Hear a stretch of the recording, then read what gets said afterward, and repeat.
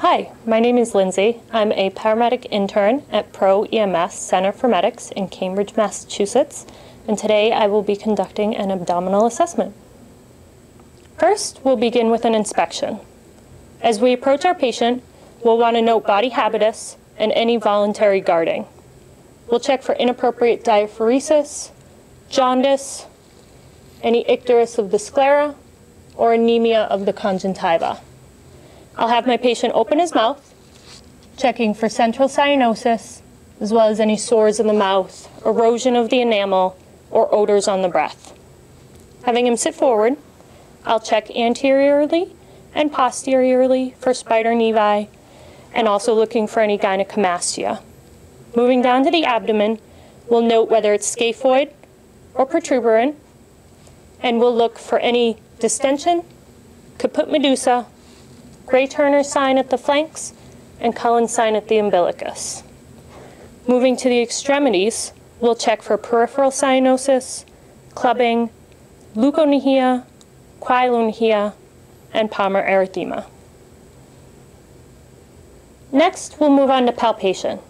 We'll begin by asking our patient about any areas of pain or tenderness, and we'll save those for the later part of the exam. The first step is light palpation.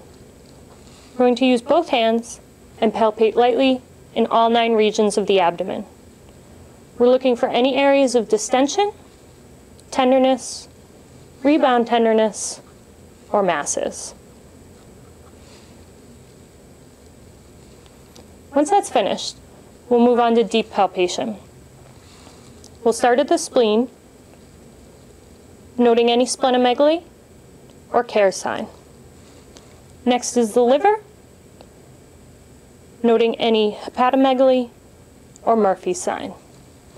Lastly, we'll check for both Rovsing's and psoas.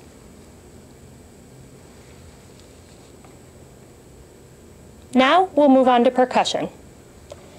We'll percuss in all nine regions of the abdomen, noting any dull, tympanic, or resonant sounds.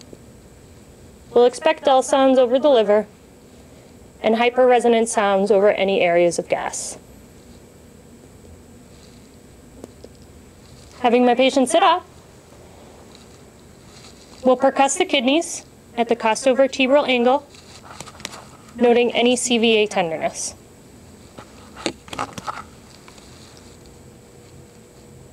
Lastly, we will be auscultating. You'll want to begin by listening for bowel sounds just under the umbilicus.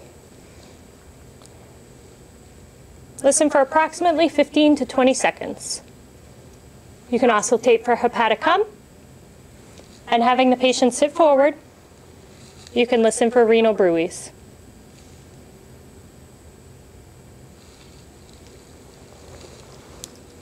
That's going to conclude my abdominal assessment.